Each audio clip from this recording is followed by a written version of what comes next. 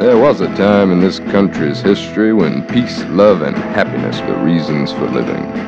When the only thing a groovy cat and his foxy lady needed to keep them humming was a reliable supply of dope and a late night slice. 1970 was such a time.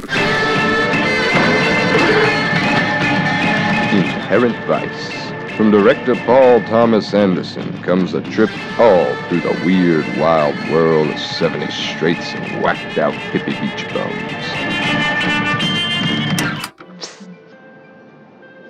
That you, Shasta? I need your help, Doc. You know I have. Uh, you know I have a an office now. So somebody keeping a close eye. Just spent an hour on surface streets trying to make it look good. Inherent Vice. Based on the novel by and possibly starring Thomas Pynchon.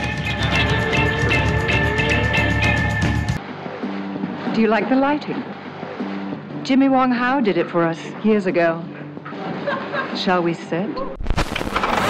Inherent Vice. A must see hippie flippy trip.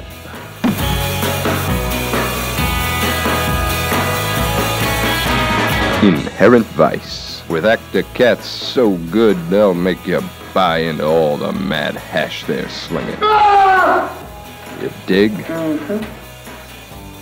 Inherent Vice. Something to see. I mean, really see, baby. Expanding minds in theaters now.